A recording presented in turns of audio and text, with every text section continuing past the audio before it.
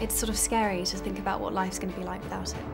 No, she's not talking about life without her hair straighteners. This last Harry Potter film spells the end of seeing Emma, Daniel, and Rupert in wizardry action. And haven't they come far? Just look at Emma here.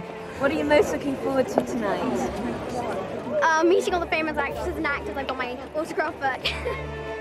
OMG, how cute. And now they're the ones being asked for their autographs. Emma's probably changed the most over the years and she's become somewhat of a fashion icon in the process, as well as being named amongst Hollywood's highest paid actors in 2009, along with Daniel Radcliffe, who doesn't seem to have changed at all. Look how nervous he is here. You just want to pick him up and give him a cuddle. But Dan Rad has always kept his boyish charm and comes across quite excitable whenever we've met him. He does, however, have his head firmly screwed on and was praised for treading the boards in the hit theatre show Equus back in 2007.